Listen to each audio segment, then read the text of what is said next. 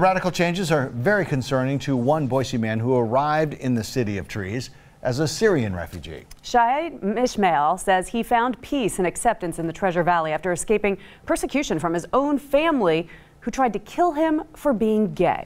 And now, with President Trump planning to bar Syrian refugees, he says the president is likely signing a death notice for innocent people just like him. Six on your side's Lacey Darrow joins us live in studio with the exclusive. Don Michelle Shadi Ishmael says he can understand why President Trump is fearful for the safety of America, but he says refugees like himself would fight and die for the country that accepted them. I feel I'm doing my part and I deserve to be here, like anybody else.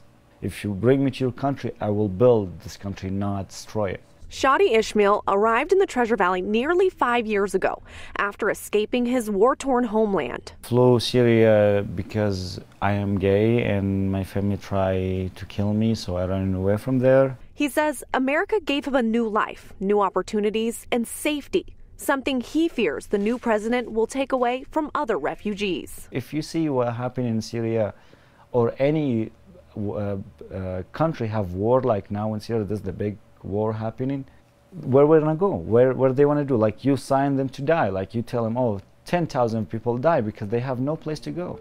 Shadi says after applying to the refugee program, it took him four years to be accepted.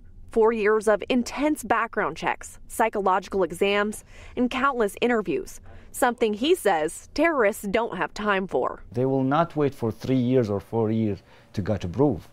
They will come come here like uh, business visa. He says refugees are women, children, and people just like him who are fleeing for their lives. He says they're not here for handouts, but rather a peaceful night's sleep. And I believe everybody coming here as refugee coming just to live, just to have real life, not being today. I don't know if I will, my house will be explode or tomorrow I will see my kids or not. I don't know if I send my son to the store to buy a bread if he will be back or not. Shadi says he's extremely proud to be an American, to pay taxes, and to do his part for his new country. But he's fearful the America he longed to be a part of is changing. I believe America, American country, it's always say freedom, always love, always help, always accepting. And now I feel like no like the statue of freedom it's gone it's it's it's it's like disappearing little bit by little bit and i surprise how a lot people support what he's thinking and i'm really shocked Shadi says he is fearful that one day he could get a knock on the door and be forced to leave the country.